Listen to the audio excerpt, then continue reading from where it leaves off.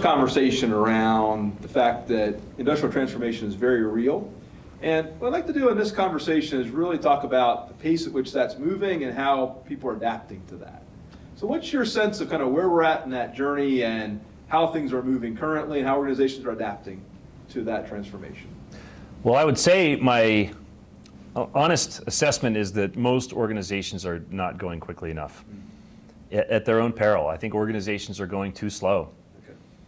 And I, am really, that, that's a, a, good conversation for us to sit down and chew on. Yeah. It, I actually, just to kick it off, the, there was a, a trip. Gary Koopmann is the K of KCF. Okay. And we were together in Finland. Actually, it, the main work was in a, a, town north of Finland called Tampere. Okay. Tampere, Finland, which is actually near where Nokia is from. Oh, yeah. This was in the mid 2000s, the early days of KCF, and we were doing some specialty consulting and training with other experts like us, more narrowly focused in just our field of expertise, vibration and machines and acoustics. And we after we finished our engagement, we actually got invited to go tour the Nokia facilities oh, up there, and saw the, just these some best, just world class acoustics facilities. Yeah. And people that are younger may not realize that you know in the mid 2000s, you, right now everybody maybe has an iPhone or a right. Samsung phone. Back then, everybody had a Nokia yeah. phone, and it was this small. I mean, literally came from this small town north of Helsinki, wow. in Finland. It's, ama- it's an amazing story, and Yet, what happened, we were there, we saw all this best, best in class facilities. We didn't come anywhere close to meeting the CEO. We, were, we didn't have that type of uh, exposure at that time. But, but what happened was, you know, just a few years after that, Apple released the iPhone. And it started to transform the, the telecommunications and smartphone industry. And, and within five years of that date, I mean, basically once the iPhone came out, the you know kind of the future was maybe set. But within five years, the the, the business transformation just completely disarmed Nokia to the tune they had they had had more than 50% market share globally of smartphones.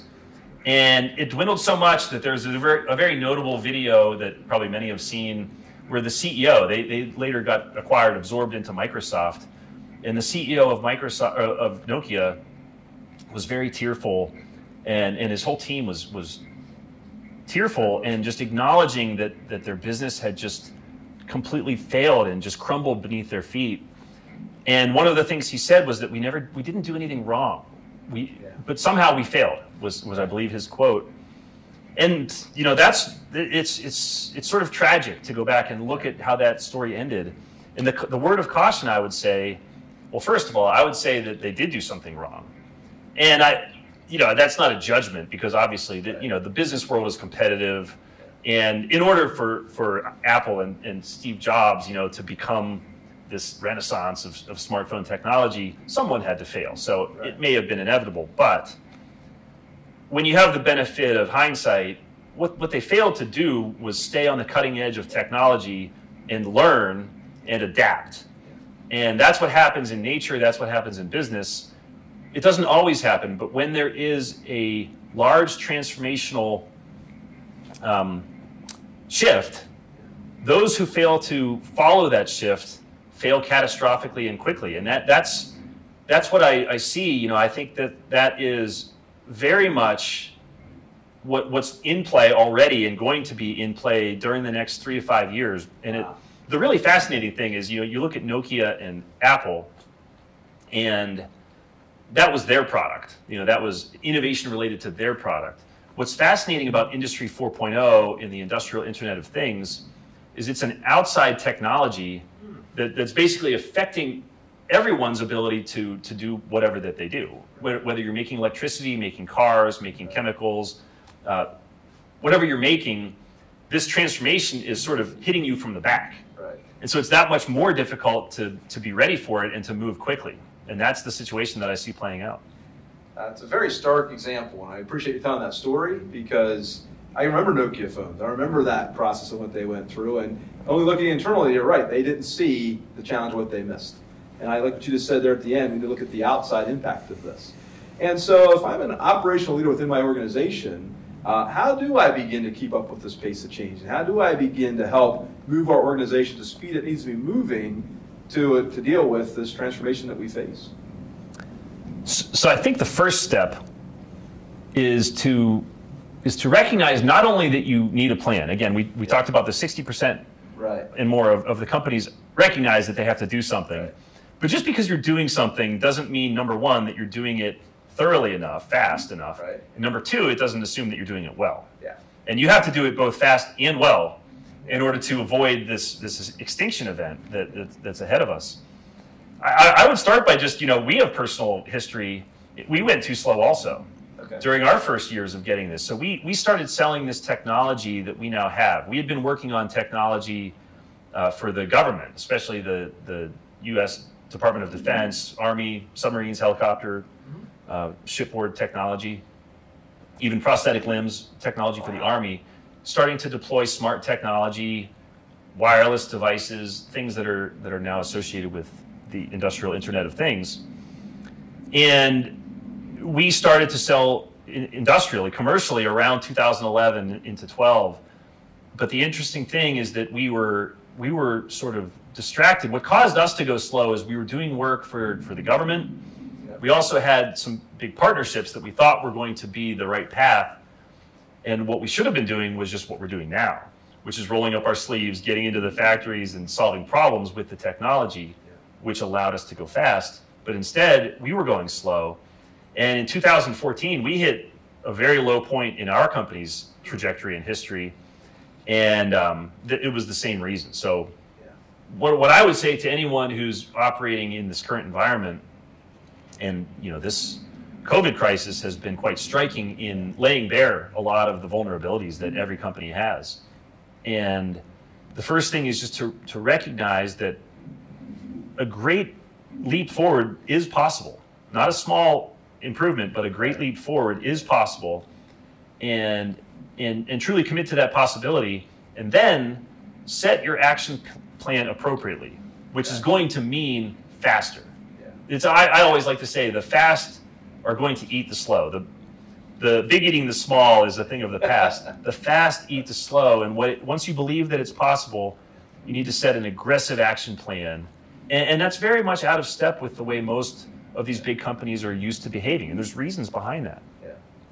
It's interesting as you were explaining that, Jeremy, as I was reflecting on what you were saying, it shifted my thinking about this planning versus action element. I hmm. think sometimes I, I think Yeah. organizations try to plan big, and that takes a long time, and they're acting small because they want to see incremental changes. What you're suggesting is turn that around. Hmm.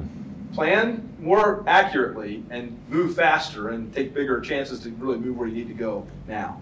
And so that's kind of a mind shift for organizations and for leaders in organizations.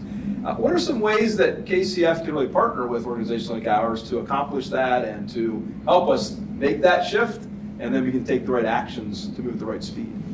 Sure. I think yeah, having that mind shift to take to take bigger, more aggressive steps is right, but it also doesn't have to be all at once. Yeah. I, I think just to, to to dive into a reason, you know, there are reasons, of course, why all these things are the way that they are. The intention to do the best is typically there. That that's Right. that's in the you know. There's a strong sense eh, of momentum in most industries and they they do tend to do more planning and incremental improvements and it's because they have been in, in a relatively competitive environment without a whole lot of disruptive change for a long time Okay. you know if anything the big disruptive change that's played out over the last decades has been global competition Right. but that's been more of a, a slow starvation type of challenge. Right. You have to get a little bit leaner every year and a little Right. bit leaner. But those are gradual improvements that can be planned. Yeah. This is different than that. This is a tsunami wave that's going to catch you blindsided if you're not ready for it. So that's the first thing is just to to recognize basically that um, that there's a, a difference in behavior that's appropriate to to those two situations. Um, the second thing is that, that we see that there's when companies are planning and when they're assessing, even just trying to assess the effectiveness of of their big bites, you know, biting out the, Right. these problems, companies tend to be very conservative. Okay. And again, I think that that historically serves you well when you're in a, a typical industrial corporation.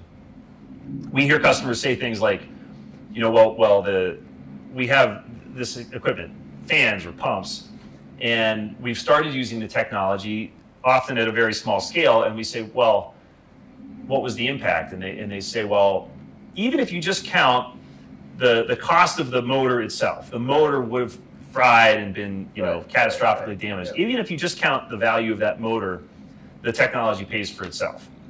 And to that, I say that that's conservative.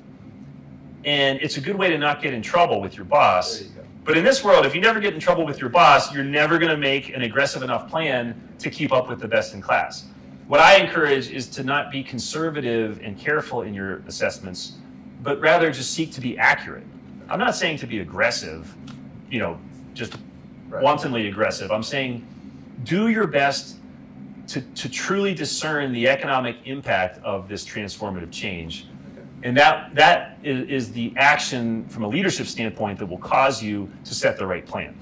And, and just holistically, the dominant pattern is that most companies are not doing that. Yeah. Most companies are conservative, and most companies are um, just used to a, a status quo where planning and incremental change has, has caused them to survive.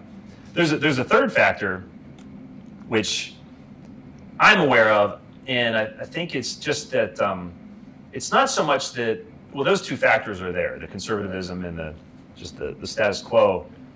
But the third one is is just the transformation itself. The way I would phrase it is that the industrial Internet of Things or Industry 4.0 is going too fast. Okay.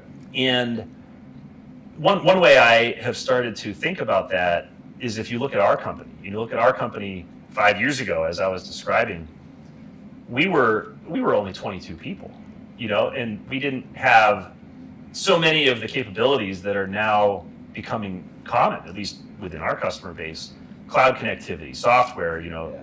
some of the things we'll talk about in the next session about how to actually get this done, enterprise software, uh, data integrations.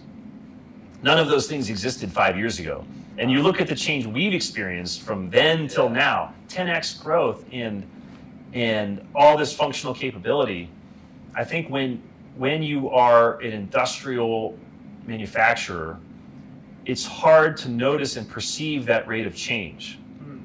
And that causes companies to maybe you had mentioned partnerships. It causes companies to try to do things more internally Right. because again, that's been the, the historical behavior. Instead, what we see works better is when companies recognize that there's something happening that's on a very fast track and then put together the ecosystem of, of, of partners who are thriving exclusively within those, those lanes. Companies like us and other companies in different lanes, when you get them to work together in concert, you can go a lot faster. But it's hard to notice when you're living in the world uh, of an industrial manufacturing landscape. yeah. So it sounds to me that raising that awareness, thinking about that planning differently, and thinking about the speed at which we adapt to things is really critical for us to be thinking about internally, and not just relying on this is the way we've done it here, and I have to kind of maintain those current structures and systems. So very helpful in that. Excellent. Yes. Well, that really paints a nice picture of kind of um, how we can, how we need to think about this differently, go a little bit faster in this direction and move there. Uh, and really helpful to kind of link that to what we talked about in our first session about why we need to do it now. And so I think what we want to kind of do is set ourselves up now for a follow-up on this, that is, what is that path? And what are some, some of those key things you've learned that really help us to, to get there? And so uh, any, any last thoughts around this issue of speed as we begin to transition our thinking to the idea of the path forward? Sure. And actually, yeah, I will just to, to cue that up because that's really in the how to. Yeah. But a couple of things that frame it, you know, when, when you asked about how, what steps can you actually take? There are some patterns we've noticed and some, some benchmarks that, that we've quantified. First, on the, on the patterns, there's kind of these three convergent circles. If you, if you look at how to, how to go fast, how to take a big chunk out of a big problem that you maybe didn't know was there. The first one is you have to, you have to execute. You have to deploy technology Okay. and problem-solving people, whether they're yours or ours or some other partners. You have to attack the problem aggressively and execute against it. That's the first circle. The second one is you have to prove that it actually had an impact. or or honestly, if it didn't have an impact. Right. And when you get that, it, it's typically economic proof, but it, it can be documented, uh, documenting reduced safety incidents. It can be documenting OEE improvements. It can be there's there's a lot of different measures. It's whatever makes sense to your business, but the proof is the key. Gotcha. And then the third one, the third circle, is to evangelize. Okay. You know, typically most of these industrial manufacturing companies are so large that the decision-making process is highly uh, complex and involves many people, and they transform one at a time. You know, it's not like everybody suddenly agrees on this new future. One person agrees on the new future, Yeah. but there's an there's an evangelical aspect to it that happens internally within each company. So just recognizing that those three circles are necessary before you can really go. And then what I would say from a benchmarking standpoint, in, in terms of going too slow, there's two ways to quantify it. You know, there, there's just the, the deployment of technology. Most companies today, at least in their balance of plant machinery, the, the non-absolutely critical assets, they're, they're mostly just blind. There is no real-time machine health data flow flowing from them. And that's a, the first part of what's enabled uh, by industri- Industry 4.0, industrial Internet of Things, just what we do, is you get the data flowing, you get, you get sensors, you get coverage on those assets. And that's a matter of going wide. Okay. Uh, the way I can quantify that is it, it turns out when you do the math, we've looked at a lot of our best in class customers, you end up with approximately the same number of, of real time connected sensors if, as you have employees. Not employees in the factory, but employees in the whole enterprise. And there are reasons, you know, it's kind of the relationship of, of capital intensity, how much machinery there is in a factory to, related to the total headcount. In fact, one of the things we've studied during this crisis is that the largest headcount in most industrial operations are those who are performing maintenance on the equipment. And that's part of why those two numbers are related. Yeah. But you can quantify it that way. If you have the same number of sensors as employees that are connected in real time, that's a pretty good benchmark. And the second one is just value creation. You know, you could do it by dollar. Like we, our our thriving customers are typically generating about ten thousand dollars of value per year per sensor. Wow. And you can look at it that way or by ROI. You know, a typical a typical customer that's doing it well is generating about a 10 times ROI every year Wow. on the technology investments. And times. te- it is, it's That's real. significant. And it, you know, you can just imagine if if you're doing that and your competitor isn't, Yeah. that that is how the extinction begins. Yeah. Or the flip of it is if your competitor is doing it and you're not, Yeah. then you're vulnerable to extinction, and it is going to be one or the other in most industry sectors, and that's that's the consequence of going too slow. Yeah, no doubt. Okay. And that really, I like those benchmarks you put in there because that helps me begin to think about it from an organization standpoint to understand where I may need to go in the plan and how I'm going to begin to measure that success. And I can begin to do some basic math around that and say, here's what the investment looks like and here's what the outcome can be. So that really kind of sets that tone for how we can adapt more quickly in that. So, Yeah, I asked the question, you know, just for any for any company listening, just just to ask yourself, you, you might think we could get to this great outcome by 2025 or 2030, but what you know, just to to express that, what if we got there by 2022? yeah, wow. What if we got there by 2021? That's the exciting thing to think about. You know, it, it's it's it's the right way to look at it, in my opinion. Now you're getting ready to go at a fast pace. 2021, 2022, that's, that's right around the corner. It has some real implications. Yeah, certainly. def- def- def- Definitely. Excellent. Well, good. Well, thank you, Jeremy. Really good insight around, again, uh, kind of how we, why we're going too slow, how we can begin to pick up that pace. Looking forward to our follow-up conversation is how do we build that path and how do we really get everyone aligned around that so we can achieve those great results. So, Fantastic. Yeah, thanks, Kevin. Excellent.